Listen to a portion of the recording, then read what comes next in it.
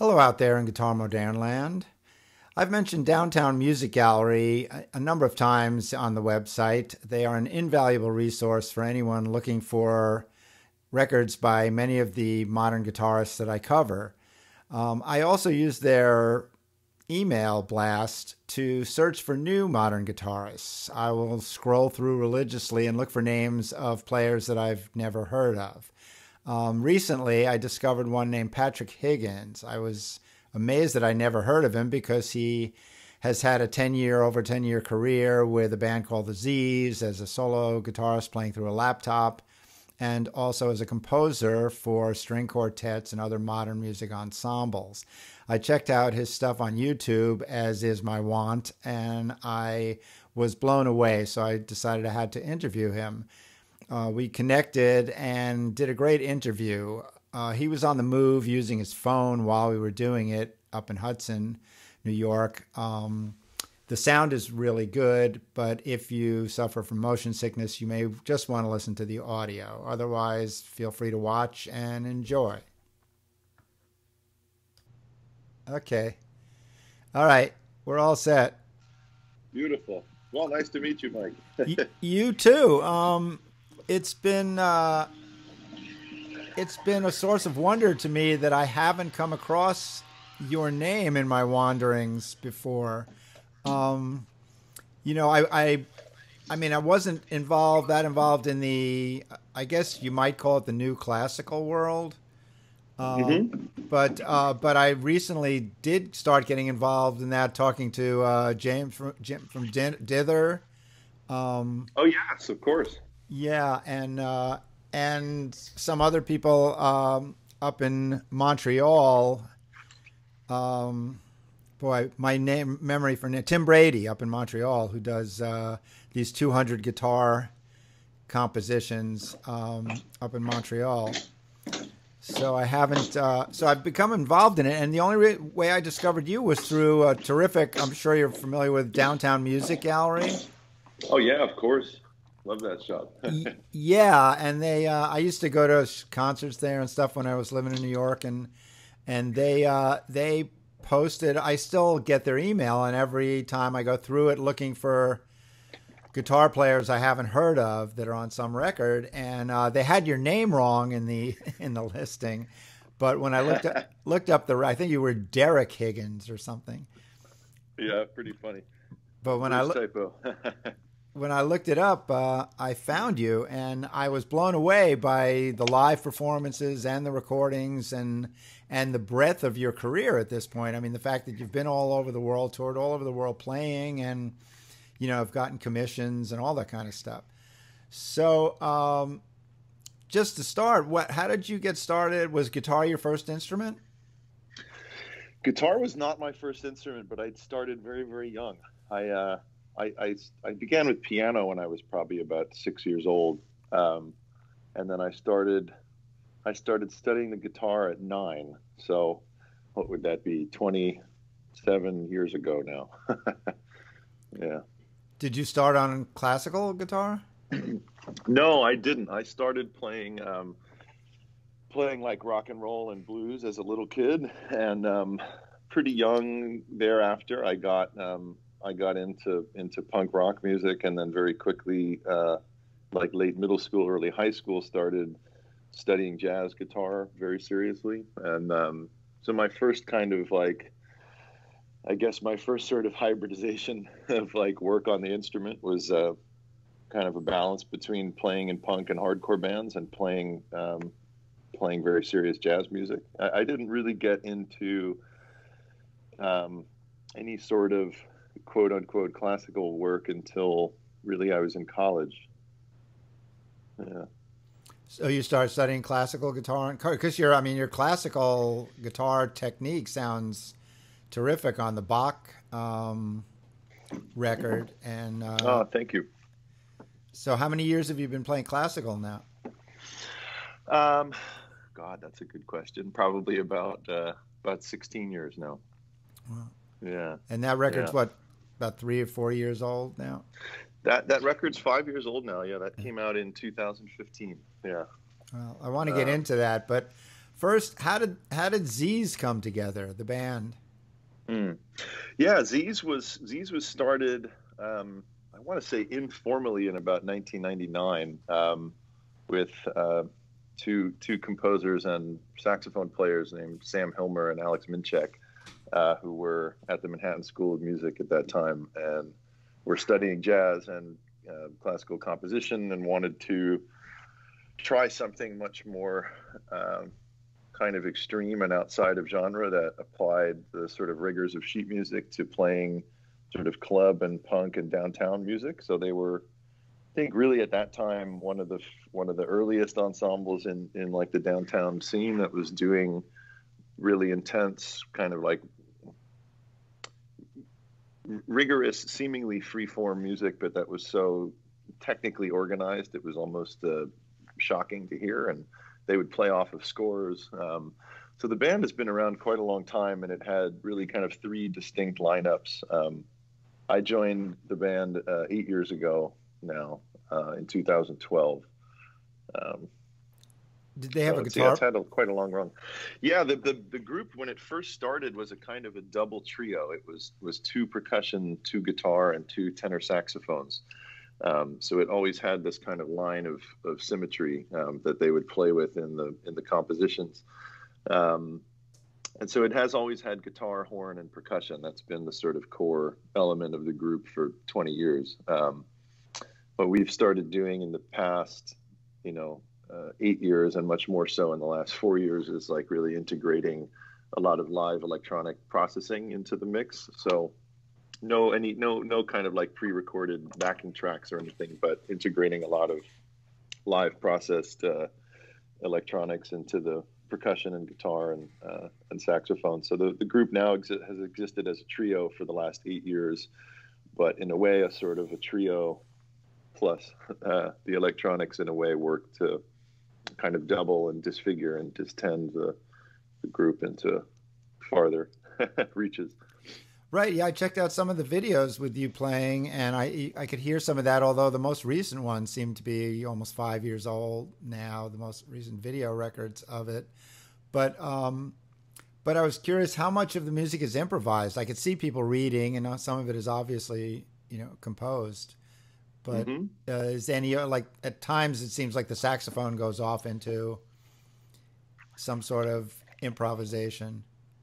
Yeah, absolutely. I mean, um, you know the, the, the work with Z's has been um, very much dealing with like a kind of a legacy of through composed music, and uh, certainly on a, the record we put out in 2015 called Z XE, that was all um, very much like through composed long form pieces. But even in the way we do composition, it's always, uh, especially now, it kind of in builds a lot of room for uh, structured like you know group group dynamic improvising. Um, we did a live record two years ago um, called Nuth that we recorded live at Cafe Oto in London. That was uh, completely improvised, which I think was actually the first first fully improvised Z's record in you know the 20 year history of the band. So we've been doing quite a lot of free improvising in the last few years um, that we've been touring and that's been really interesting coming from you know the experience of of a band and ensemble that is like primarily really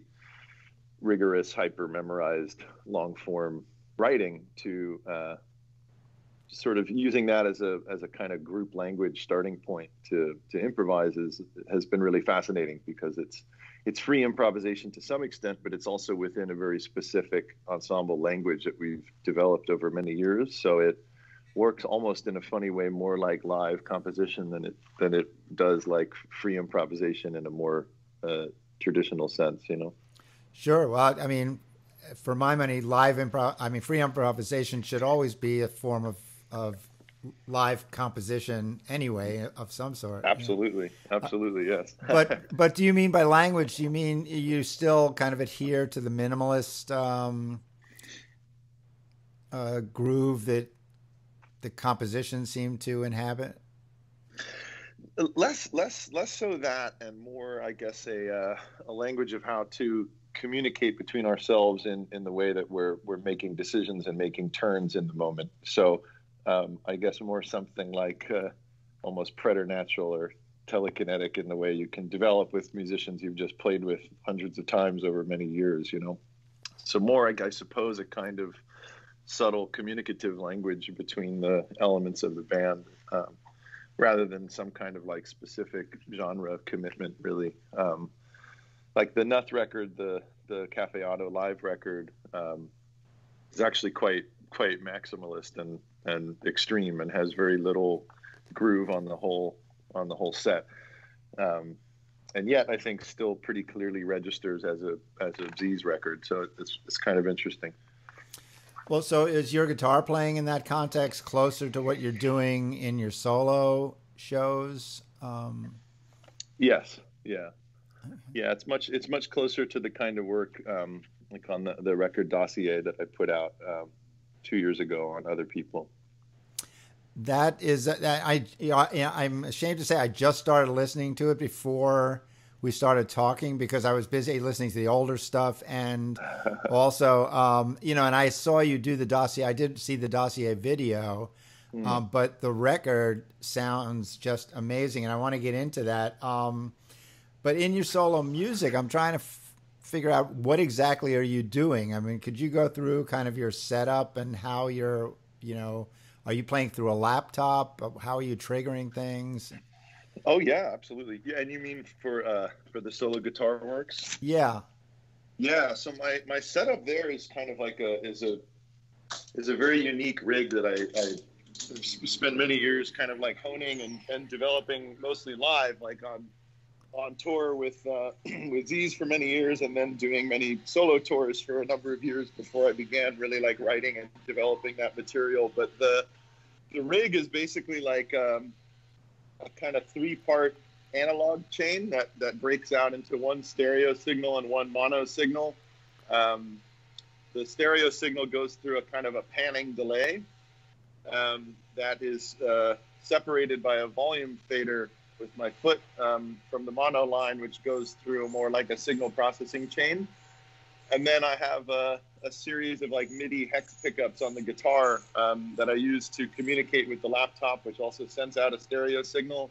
So the live guitar set is really five channels of audio um, that are that are live mixed. Um, so I use the laptop again, also not really for backing tracks, but to um, to map uh, discrete samples onto individual frets uh, on the neck and um, I'm able then to use the left hand um, to to basically trigger uh, an array of samples that are each mapped onto individual notes. So I'm like kind of simultaneously playing the laptop as well as the three different channels of guitar output. So, so there's actual guitar signal being blended in with the laptop. Uh... Yeah, there's a there's a lot of guitar signal. Yeah. well, it, that that must be fairly processed as well. What are you processing it through? Um, well, um, you know, it's it's it's simpler than it seems. I um, of course use a good amount of pedals, but uh, I've I've always preferred much more to rely on a, a, a kind of specific technique of playing than on a really heavy array of processing. So I use relatively simple stuff. I have like a, a, a DD7 delay pedal, for instance, and a little pitch shifter and a volume pedal, uh, occasionally a little Moog, um, you know, kind of VCO synth that the guitar runs through. Um, but I play with a metal pick, for instance, which um, really changes the attack and kind of overtone characteristics of the contact with the string and of course, do a lot of um, finger tapped and sort of slapped work with the right hand um, to get very non guitaristic sounds. I mean, one thing I've really been interested in my whole life, but certainly my whole career as like a performing guitarist, uh, is to do the sort of least guitaristic things possible with the with the with the instrument. Um, so I've always been interested in, um, yeah, performing music in which the the instrumental source is a bit hidden or occluded, um, or at least transcended in some uh, technical or uh, or signal processing way, where it's less like obvious what sort of instrument you're listening to, and instead maybe just uh, hearing music without an immediate grasp of what the instrument is. and that's always been really fascinating to me. Well, you've succeeded um, in, in you know in, in, obscuring most of the guitar sounds as as uh, as specific guitar sounds. And are what what are you using to um, hold your samples in the laptop? And yeah, I have a, um, a sort of a custom built piece of software that um, allows me to um, basically read the MIDI data that is coming off of that pickup um, and set up sample arrays where like uh, each individual chromatic pitch on a given string would uh, output a MIDI control value, and then I can uh, assign that control value to play back a sample according to uh, like velocity and volume and duration and so on. Um, but it's a custom it's a custom piece of programming. Um, and then I also have the, the MIDI pickup on the guitar. It also communicates with um, with Reaktor, which is like a, a soft synth uh, sure. that Native Instruments makes. Um, so I use it as well to control like a synthesizer patches that create these kind of large pad beds uh, that are also kind of live manipulated and modulated by the uh, MIDI control values coming out of the guitar string. Uh, is the sampler uh, is that created in Max? Or are you using Max or? Yeah, um, in, in Max MSP, and, and part of the patch was written in, in Pure Data, which is a very similar kind of language. Yeah. Do they talk to each other? I know people who use you know each, but I don't I don't know that many people use both. I in a live context, I use I use Max MSP. Yeah. Oh, okay. Yeah. But the uh, the pure data you use uh, for recording. It's just just for uh, the kind of the kind of first versions of the of the triggering patch. I was I was exploring that, but um, yeah, I'm using using Max MSP for the last number of years now with it. Yeah. Do you find it's more stable? Uh, I do. I find it's more stable, and I find it's a little bit uh, it's a little bit less difficult to make changes and. yeah, a little more user friendly. So, are you going through an amp or amps, or are you going uh, into a mixer, into uh, live, and I mean into the PA? Yeah, I, so I actually I actually stopped using amps uh, altogether in my live performance, like uh, maybe about seven years ago now, eight years ago. Um, so I tour with like a large mixer, and um, I go right into the house sound systems. So I also really enjoy that because again, it sort of gives you a much less guitar centric sound, uh, and it's much more in a way like sound system music. So I also do a lot that plays with like the kind of full frequency spectra um, in that. So I really like the different kinds of punch and attack that you can get from the mid range drivers and tweeters and a big PA, as well as, of course, uh, all the big subs. but yeah, I always go straight into the house yeah, yeah. I mean, I, that's that's that's a theme amongst a lot of laptop players, and and it goes kind of uh, goes back. I go back and forth. I mean, I I, I yeah. certainly understand the the um, the appeal of you know when you start using certain filters and things. Some of the low end is you know does not make guitar amps happy. Um, but uh, but then you get a certain thing out of guitar amps that's a different thing also that if you know if you're oh, into God, that yeah. sound um, absolutely so like go, moving up to the bach for Bachanalia um, record what yeah. what made you feel you wanted to process bach yeah i was really interested in uh, trying trying something new with of course uh, some of my goes without saying some of my favorite music ever written, of course, but uh, but music that's been so um, so often recorded and interpreted many, many, many times over. I felt um, that there was both an interesting challenge and uh, potentially new horizon for uh, reframing very familiar pieces by engaging them electronically as well. But I liked that a lot because I would do it uh, I would do it live, so the processing wasn't done after the fact. Uh, it's done actually like during the performance, which changes the way that you, in a in a very real way, changes the way that you're kind of like hearing and feeling the, the counterpoint and the rhythm and the harmony um, as you go.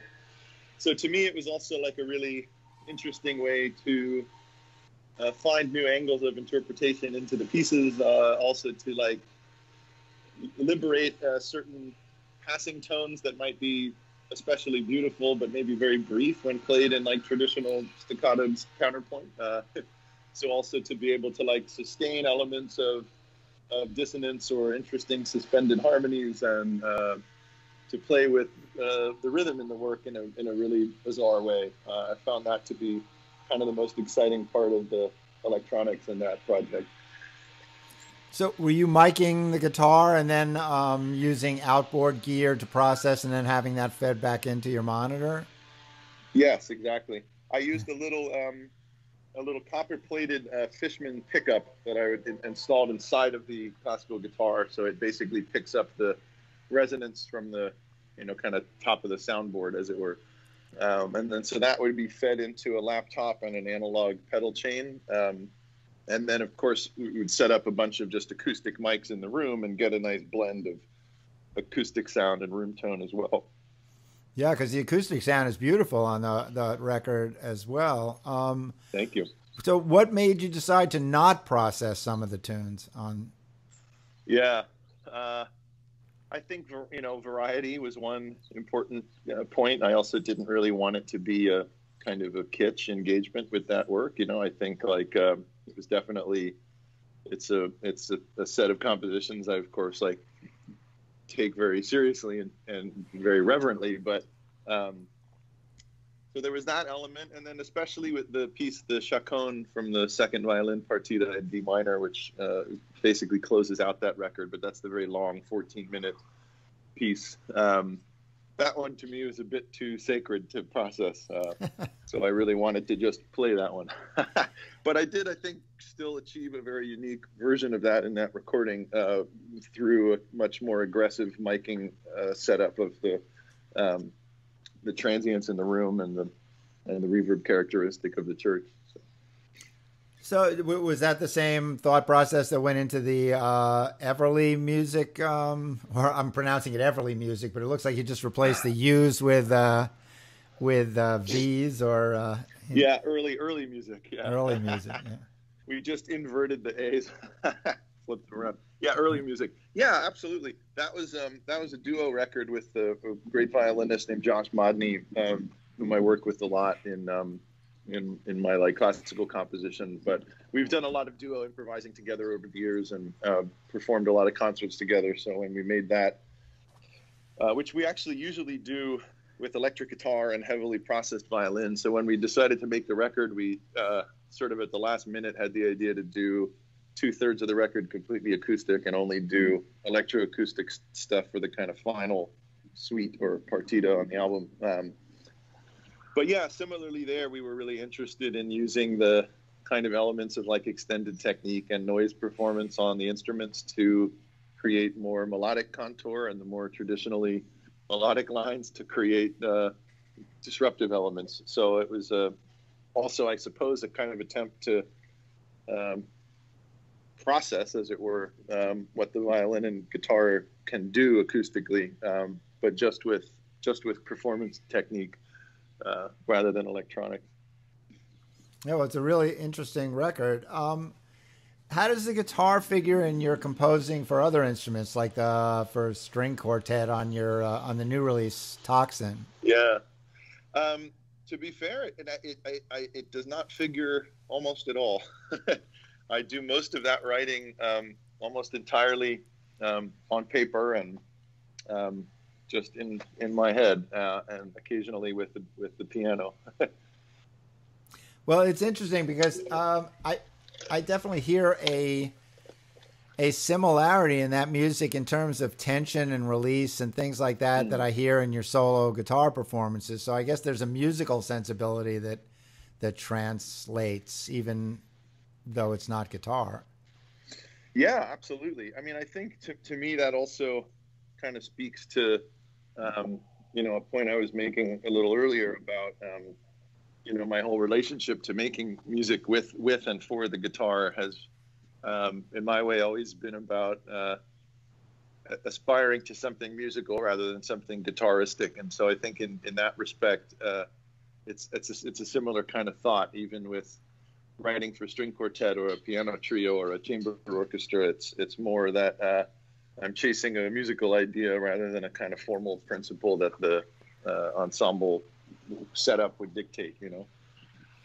Yeah, well, I find once uh, that makes sense because once you once you remove guitar cliches and guitar standard guitar tone, you know, because I mean I do similar things in terms of using the guitar as a sound. Once you use the guitar purely as a sound generating instrument, then mm. then it becomes all about making music of some sort out of that sound, yeah. as opposed to, you know, blues licks or jazz licks or or right.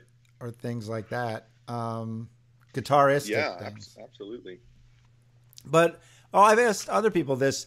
Do you do you find something special about using the guitar as a sound generating instrument as opposed to using a synthesizer or something like that? Hmm.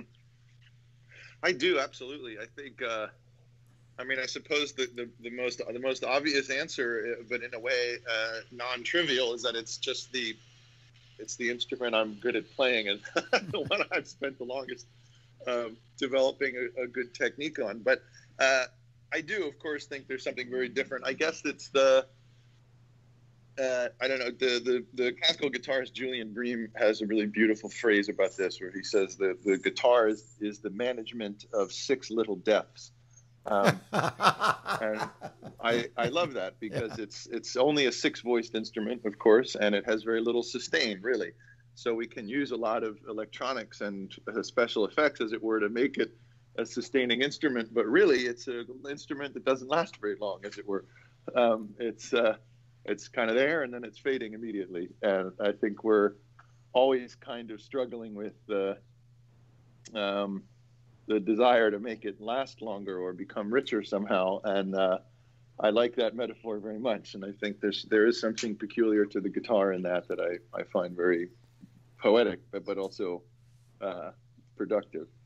Well, that's interesting because I mean, it's absolutely true, but practically I mean, since the invention of the electric guitar, guitarists have been working on you know myriad ways to extend that decay whether it's yeah. distortion or um, or EBows or uh, mm-hmm. or the uh, what's the uh, the Gizmotron, um, and of course with the synth guitar you can you know you can turn mm-hmm. it practically into a synth. So I, I guess the mm-hmm. question I would have is is do do you make use of that quick decay as part of you know your making music process? I, I do absolutely, and, and, for me, that's like where the um, that's where the percussive element comes in in a, in a very profound way. So, like, I, I'm I'm really interested in also uh, using the guitar to like instance really interesting types of uh, polyrhythmic and kind of polytimbral um, percussive effects and, and percussive environments. And I think that the certainly like the tension in the strings is a big part of that. The physical tension. They're they're uh, they're very they're very bouncy. They're very reactive. They're uh, um, and of course the like the blend of you know really short-lived punching cascading percussive uh, attacks on a guitar string coupled with uh, the ways in which different sorts of like resonances and synth patches can sustain and and evolve creates like a very uh, very compelling pastiche for me. And uh, yeah, I think that was also like a big part of the the design and playing on the on the dossier material, for sure. That's interesting, yeah, because I do. That's the next thing I want to discuss is that record. But you do beat that guitar like a drum uh, quite a bit while yeah. you're, while you're performing, and there's a, definitely yeah. that rhythmic aspect. So how was Dossier recorded? That was recorded. Um, in in, a, in studio, but live in one take. Um, so I want I really wanted that to be a performance document of those four pieces. Then they're really composed as a suite, as a as a through performance. So um, that was material I had I had composed over about three years of solo touring of that material before it was named. But when I would do solo concerts or solo tours, I was developing that set of works. Um, and then when it came time to record it, um, it's fully a studio record, but I uh, I wanted to execute it um, with the with the momentum and impetus that doing a straight performance gives you. I also found that to be a kind of philosophically uh, interesting component of the statement on the album, which is, of course, on the one hand, is very much an electronics record, but um, it's performed. Uh, there's no overdubs. There's no editing. Uh, there's no start or stop. It's it's just a it's a it's really a live performance from from top to bottom on that album. So I was also really kind of interested in showing the ways that um, electronic music is is more than just programming in one way. Uh, that it's also very much like part of a kind of mm, tradition of instrumental practice, uh, at least in the way I see it. well, I mean, you know, the humanization of electronic music has been uh, has been a big issue for years. I mean, you know, when I yeah. first got into it, I remember going to see. Yeah. Um, who did I see? Uh, he's a drummer also. I can't remember Oettinger or somebody like that at, mm. at, at the Bowery Ballroom, and and it was the classic. He could have been reading his email, right? you know, and and uh, you know, which is not to say you can't make very humanistic music, and I've seen DJs do it, and you know, and and electronic musicians make very human sounding music. I mean you know, totally. Fennesz is not exactly a ball of fire up up on stage, but mm. but you mm. know the fact that he plays guitar and you you see the connection between him hitting the guitar and hearing the music makes a big difference. What I'm still trying to wrap my head around. Well, uh, yeah. Do you have some uh, um, feelings about that? I, I, do absolutely. I mean, I think that one one thing I um, that kind of made me feel like I was on, on the right track to some extent in first developing that material was like a lot of the reactions I would get from audiences or talking to people after after a number of shows developing that material was like people being really um, engaged in watching it and sort of fascinated and confused by what it was they were seeing versus what it was they were hearing. Um, and that as soon as i started getting those reactions i felt like okay this is like working you know? Um, i guess also in other words it's like creating a kind of interesting cognitive dissonance between um, w- watching somebody do something on a guitar which is a very familiar instrument and having uh, the experience of being pummeled by audio that seems completely impossible to place on that instrument. Um, but seeing that live is very uh, compelling and interesting and and confusing and has a very, I think, beautiful but subtle physical component um, that I really like, you know. And um, I think that certainly for me is like a, a performance practice, you know, that's also something I'm really interested in because I think it helps to even change people's thoughts a little bit about what uh, what's possible to do with a familiar instrument, you know. Um, and so, yeah, I, I like that very much. Yeah, that's something I've been grappling with. You know, seeing more and more electronic performers like yourself, and being one is that that mm. you know the disconnect between what people are seeing and what you're hearing is um, it can be really interesting. I mean, watching your live performances, it's mm. it's you know wondering where those glitchy sounds are coming from, and wondering where those pitch swoops are coming from, and are are you are you manipulating um, expression pedals on the floor in addition? No, I don't. I don't use any expression pedals at all. Just a, a really really simple uh, Ernie Ball volume pedal that just controls the level of signal that's going into uh, two parts of the analog rig. So a lot of the a lot of the kind of glitch stuff is um, really like a particular uh, playing technique, a lot of um, almost like a kind of pinch harmonic or like a false harmonic with the right hand, right. Um, sweeped with the side of the pick against like really specific parts of the string near the bridge, and uh, a kind of really deadened, fast left hand technique that's very close to harmonic nodes but not quite on them. Um, and so there's like um, there's a lot in that material, in other words, too, that is actually much more real guitar than they would realize. a lot of it seems like it's it's totally triggered, which of course there is a lot of triggering, but there's also a lot of just really freaky playing as well. Well, yeah, I mean, I hope someday to get to see it in person and, and try and parse that. Um, the other thing I'm trying to get my head around is that those are composed pieces that you know that so yeah. which would mean to me that you are actually playing them the same way time after time. Is that a, the fact? That is um, that is that is a fact uh, with with like an important productive caveat but yes they are. Okay sure let me just start the recordings again. Um, sorry.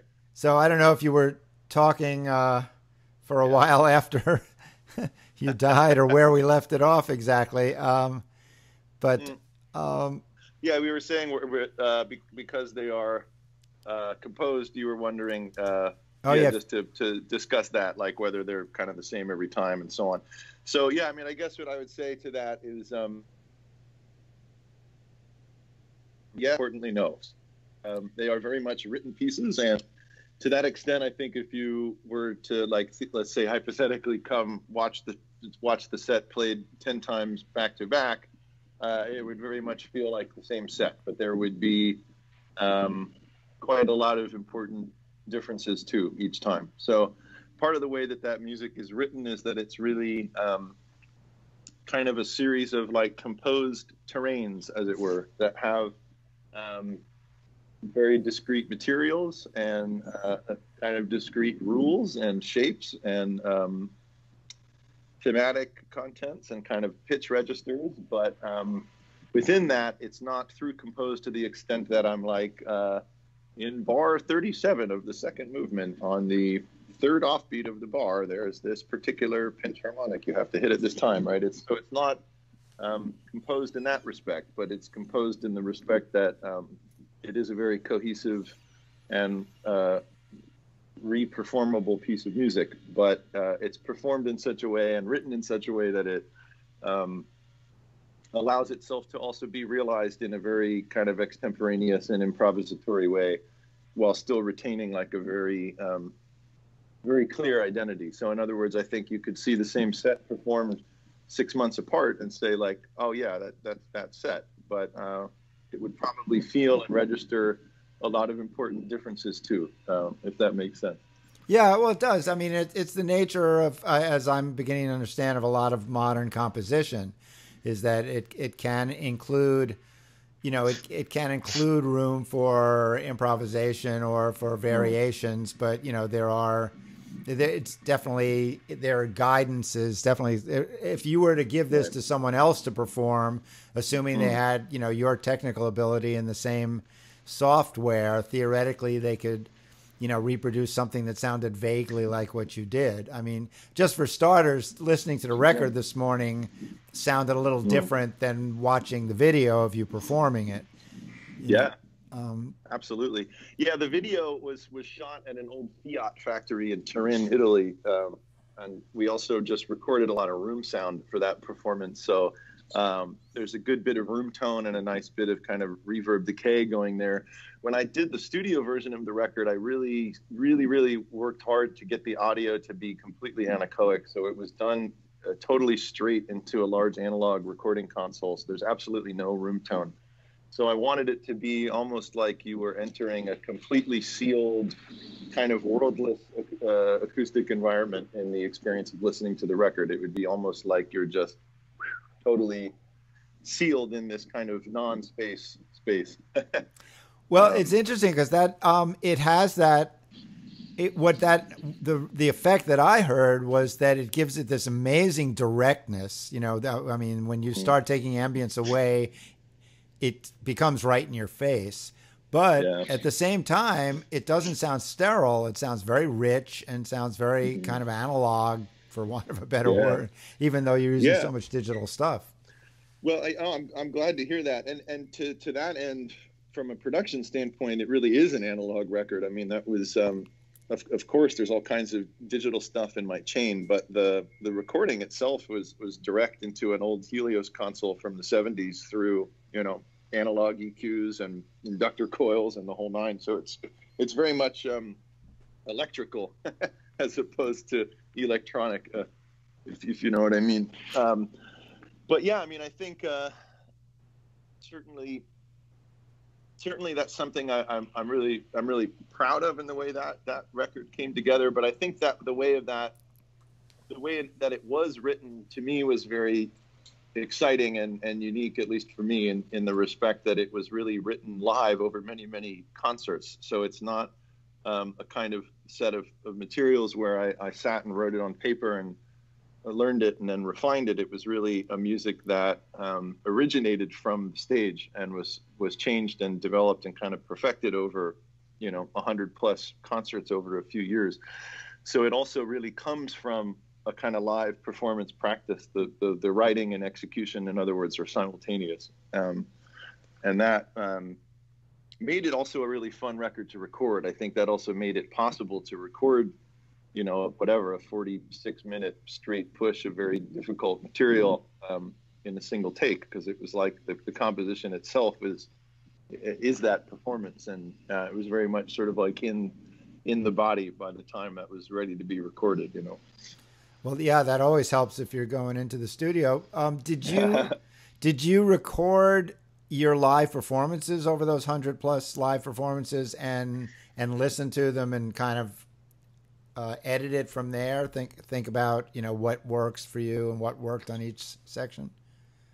Yeah, absolutely. I mean, I think there was there was very little. I would say like um, uh, actual editing in, in, with respect to like I, I wouldn't go through and parse out different parts of recordings and patch them together, but there was definitely a lot of like ref, reflection and kind of like lived lived refinement, lived editing as the work was developing, um, getting a sense really especially for how to like achieve the the transitions uh, between the different m- movements of the piece and and also uh, really getting the the length dialed in and the various um, shifts in density and intensity. So that you know can can go off the rails very easily and and I think also what I what I felt very happy with with that material was was really getting its its length to the right right point uh, on getting the kinds of rates at which it accelerates into really intense, overwhelming, dense kind of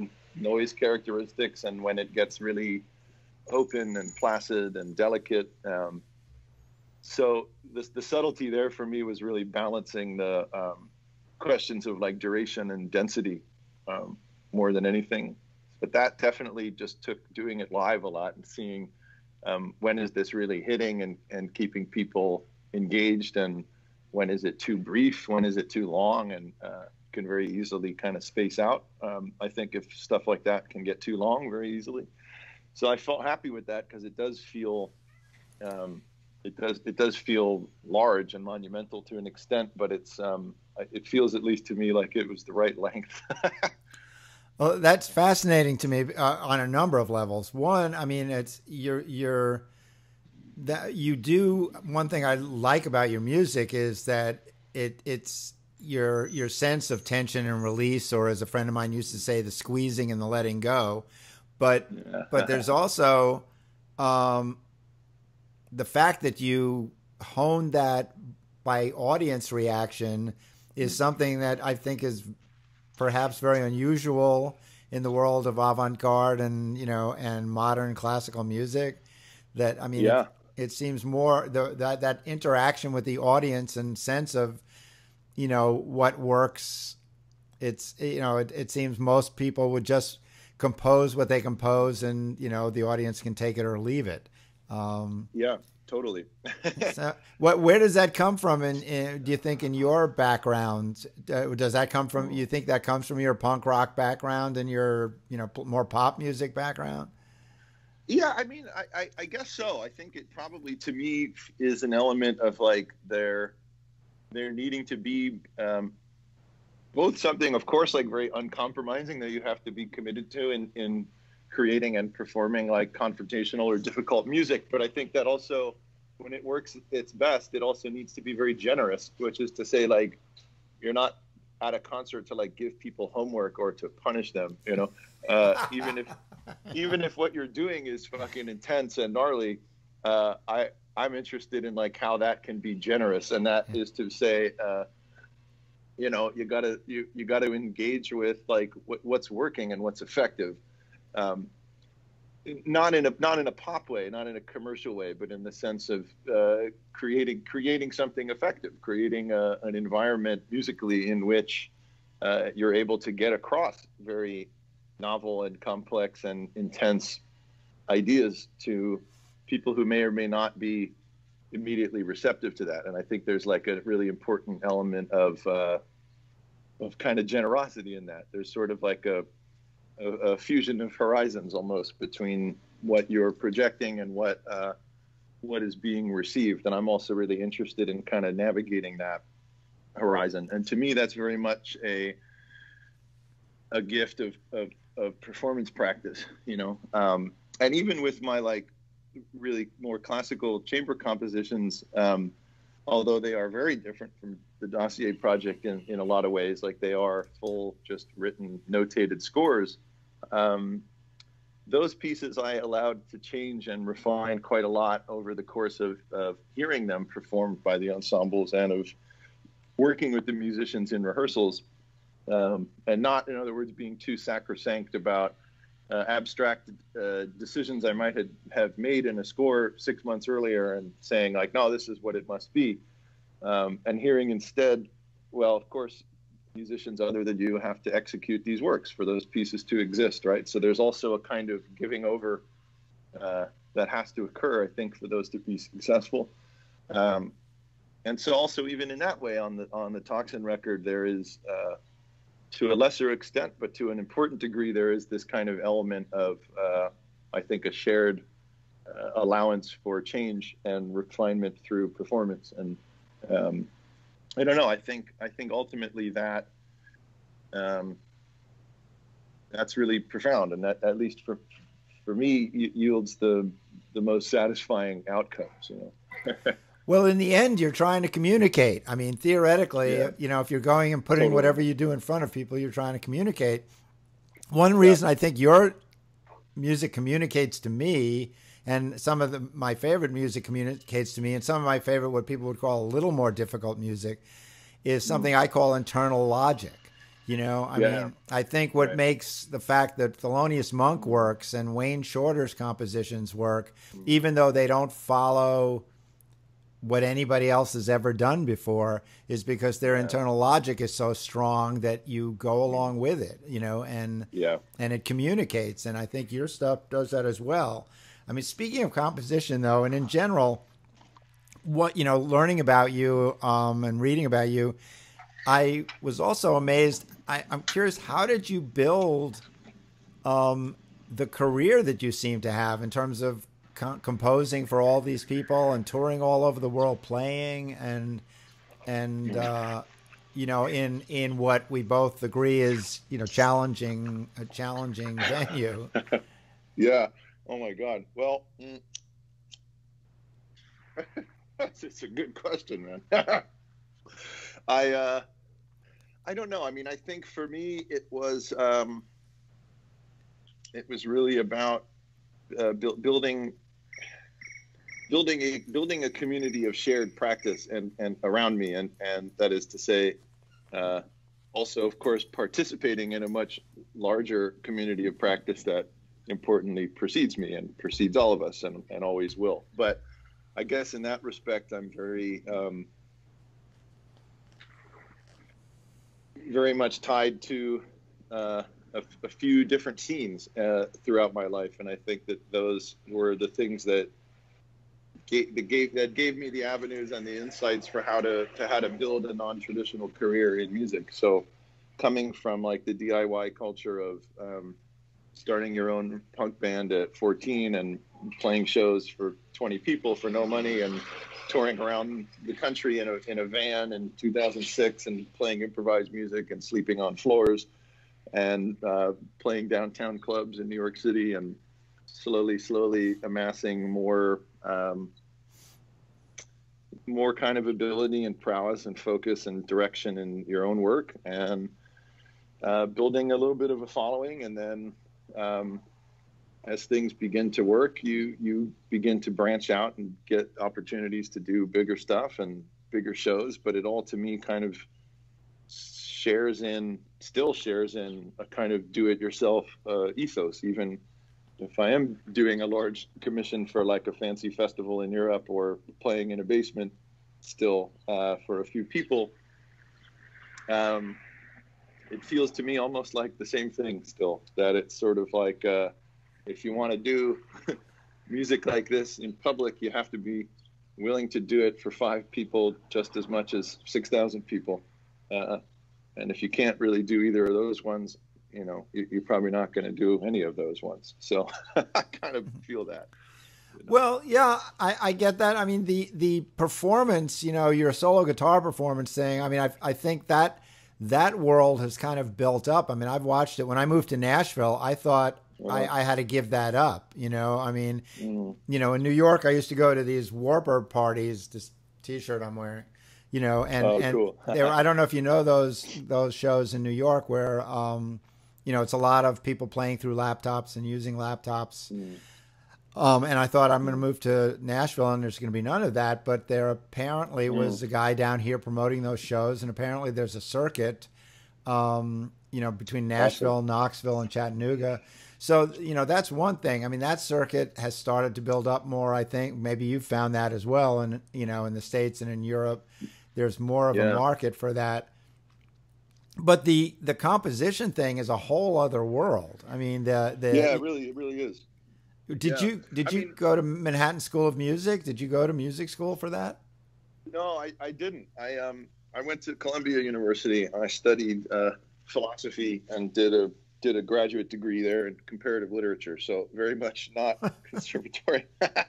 but um, I was doing uh, music in a very serious way the whole time. I, I, I, just was sort of not interested in doing a conservatory degree. I have a, a huge amount of respect and reverence for uh, for that. I, I didn't really want to do it personally, but that said, I uh, did a hell of a lot of work to learn and, and master that. It's it's extremely hard and intimidating shit for sure. And when I was like, you know, really first kind of getting into that and wanting to do it, um, you know, I realized very quickly that there's a hell of a difficult skill set and a and a real uh, technical and intellectual mountain to climb to even to even get in the ring. Um, but I found that really, really, really exciting, and I, I sort of took it on myself to learn it and study it and really go uh, spend many, many, many years uh, studying notation and studying scores and boning up on music theory. I mean, of course, I had been trained in technical music, so I could read music very well, but um, learning how to compose quote unquote like traditional concert music is uh, is a whole other thing. And that um, i suppose i just really really really loved learning it, and I really loved learning it on my own. And I got very fortunate to have um,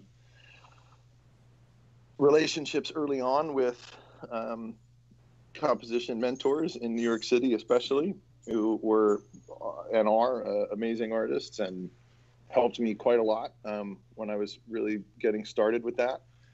And I think to me that was also um, a kind of model historically when I started learning more about that world that seemed c- consistent across a lot of the composers that I really liked the most, um, especially in the world of you know kind of high art classical music. There was a surprising number of people who really worked almost with like the apprentice model as opposed to the conservatory model. So um, a sort of a combination of uh, innate musical talent, but also uh, humbling yourself before this great body of knowledge that you have to uh, struggle through and, and master, but doing so in a way where you're not being uh, dominated or kind of produced by an academy, um, but rather finding your own way. But I think that if one does that very seriously and, and with a lot of joy, uh, at least for me, I, I, I felt that uh, I was able to like learn and, and,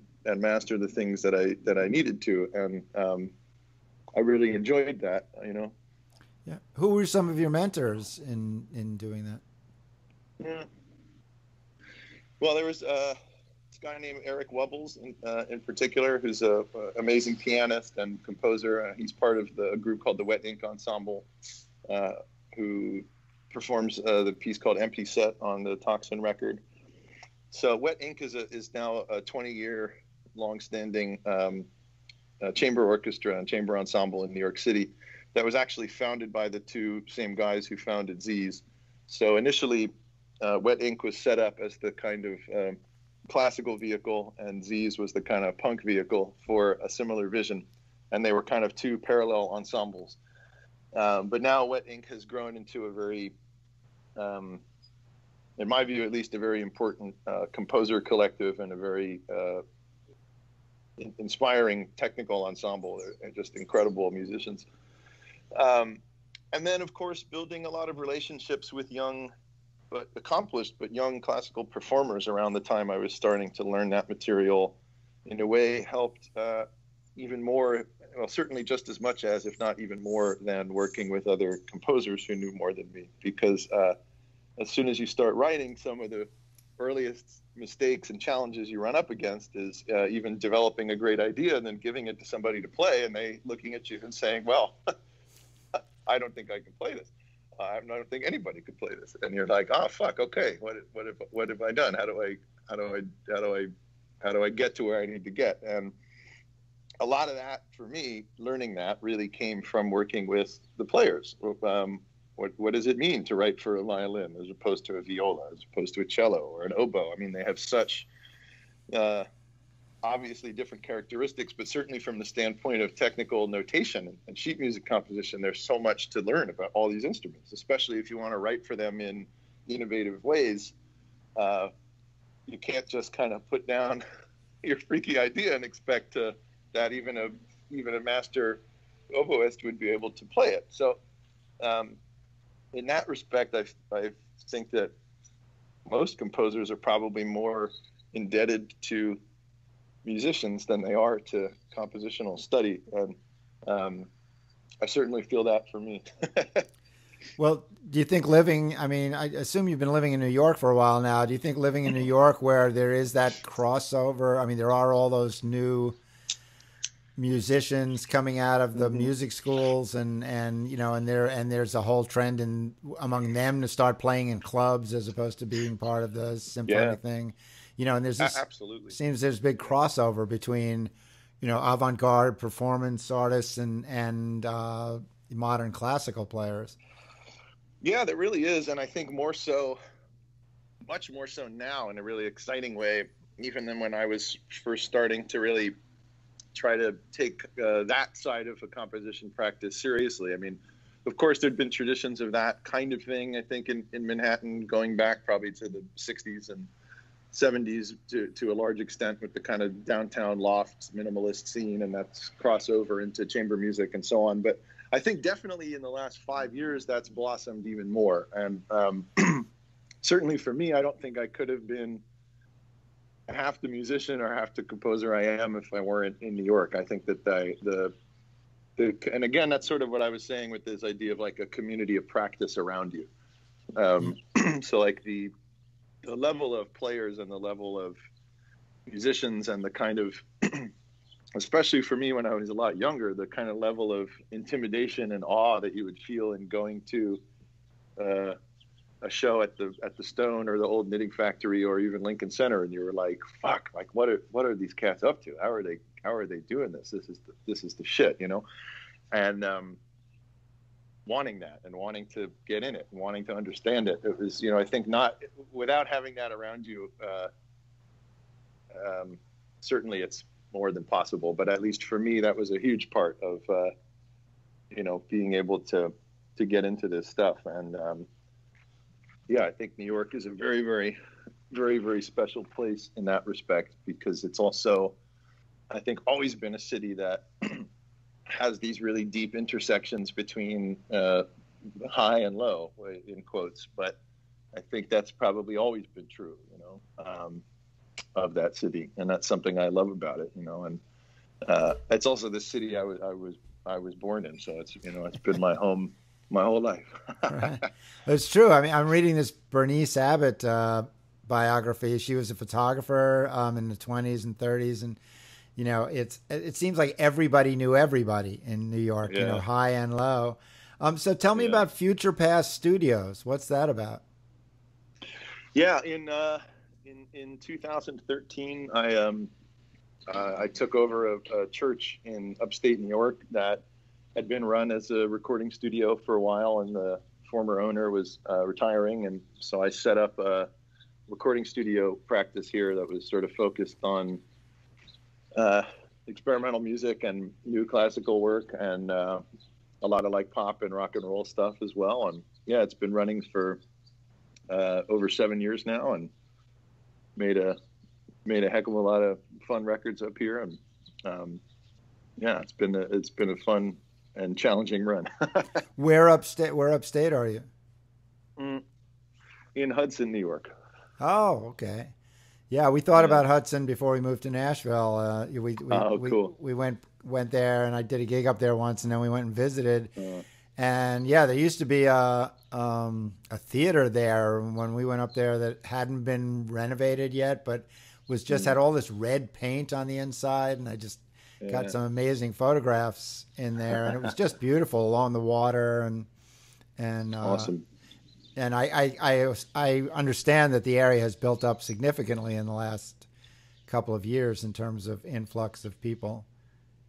Yeah, it's it's really it's really lifted off. I mean, I think for for good and for ill. Like, uh, uh, that's always a double edged blade with, with those sorts of things, right? But I think a lot, even in the seven years I've been here, I've seen enormous change, and in a lot of ways, it kind of mirrors a lot of the changes I, I saw in, in Manhattan as I was as I was leaving. And you know, of course, I, I still have always been continued to be rooted in the city even after coming up here. But it's interesting that like a lot of the a lot of the changes in in real estate climate and and housing and a kind of uh, particular avenue of development that you know is taking over downtown New York and Brooklyn is is also now starting to um, trickle in up here too. Unsurprisingly, so are Yeah. you are you up there full time? Uh, were you up there full time before the lockdown, or did you go up there for the lockdown? I, I've been here since the lockdown started, yeah. Um, and then in the previous seven years, I was um, very much back and forth between here and the city, and um, also, of course, until lockdown this year was uh, kind of on tour for you know 100 plus days a year each year. So I, I do a lot of a lot of road time. So I kind of would be between touring and between the city and between Hudson. So yeah. And so, uh, oh, there we go. Your video's back. Um, so how um, how are you faring in the lockdown? What are you able to work or do stuff? Yeah, um, I mean, you know, gosh, it's been uh, it's also been you know extremely difficult and challenging as it has been for most of the world. Um, I think especially the musical community and the music industry writ large really took a beating. You know, I had close to 45 concerts canceled in the span of a week in March, so that was pretty insane. Um, and then, of course, as a record producer, you know, was not able to to do much of anything until really the end of the summer. So, you know, it's hard, but um, yeah, things have been picking up again nicely. And um, I spend most of the lockdown just gardening and reading and playing guitar. So uh, I'm happy to be. Uh, I'm happy to be producing again. We've done a lot of fun sessions now uh, again since since August, and uh, um, of course, very happy to have this new this new record out in the world after many years of work on that. That that felt good and actually felt kind of like a nice time to to put that out. You know, I had struggled with kind of philosophically finding a release date for that, given uh, these much larger and ultimately more important things that are going on in the world. But um, I felt like uh, now seemed like a good time to contribute something back, you know, and um, Are we talking Toxin or Dossier? yeah, yeah, Toxin, yes. Yeah. Yeah, well, Toxin is perfect. I was listening to it the you know the morning after election day, and uh, it just reflected you know the angstier sections reflected my mood perfectly. I think it's it's uh, you know it's perfect music for for anyone who doesn't just want to zone out with new age stuff, but wants to listen to something that is actually reflecting where we are at the moment. Um, oh my God! Yes, I think it definitely speaks to the moment. Uh, um, there's just one thing I, I do want to hone in a little. I mean, you're playing yeah. when you say you've got you have a hundred hundred dates because I know people listening or watching are going to want to know you have a hundred dates a year and had 45 dates canceled. Um, are you still there audibly? Oh yeah. Yeah. Can you hear me? Yeah, you froze for a minute. Um, do you have an agent that books this? I mean, how? I mean, I, am sure it's easier because you perform solo in some respect, but but you are performing music that is not pop music. Um, no, no. And there's a lot of pop musicians who are struggling to get that many dates a year. Um, yeah, I mean, it's you know, it's also a it's also a, co- a combination of uh, touring touring with with with your band, touring solo, doing composition work, doing all different types of gigs, and uh, I also just really love performing. So I, you know, I, I work work as hard as I can to get out and do it whenever I can do it. And uh, you know, certainly things things slow down a lot. But I think like uh, for for for like disease fellas, like uh, one one thing I also really have always loved about that that band is like uh, you know it's a group that also has toured really really heavily uh, over the last decade. And uh, each of the individuals in the band also have really uh, fledged out solo practices. So um, we're kind of all doing all kinds of things all the time you know both Greg Fox and Sam Hillmer and Michael Beharie and all the other guys who were, were in the band in, in past lineups too. Um, are all you know constantly doing work with bands and ensembles and as soloists and uh, really just getting out there and doing it as much as you can you know? That seems to be the key. Builds, i mean it, yeah. It, it's the key and it build, it builds a momentum i guess is what i mean. And it, and it builds a and it builds a momentum amongst uh, amongst your colleagues too and and um, so yeah i mean i guess practically to answer your earlier question like um, yeah of course you know i we we and I work with work with booking agents and uh, you know as uh, but it, it, it, it, that stuff takes a just takes a, a, long time to build up the the networks and the, the connections and the people that uh, you want to work with to present concerts and uh, you know it's definitely it's definitely continues to be uh, difficult but worth it. And you know even of course playing all the time where as you say rightly you know we're not pop musicians so it's not it's yeah. not well yeah i mean it's a different thing. But you're um but it's, it's awesome. well yeah it sounds like a combination of diversity which everybody has to do these days and and you know hard work. Um are are is it is it for Zs or and or you? Is it is it mostly club work or is it or concert work or is it are there um are there is it a lot of festival stuff or arts council sponsored stuff or all of the above it's uh, it's it's absolutely all of the above so okay. um, you know mu- music festivals concert halls nightclubs uh, um, you name it yeah. all right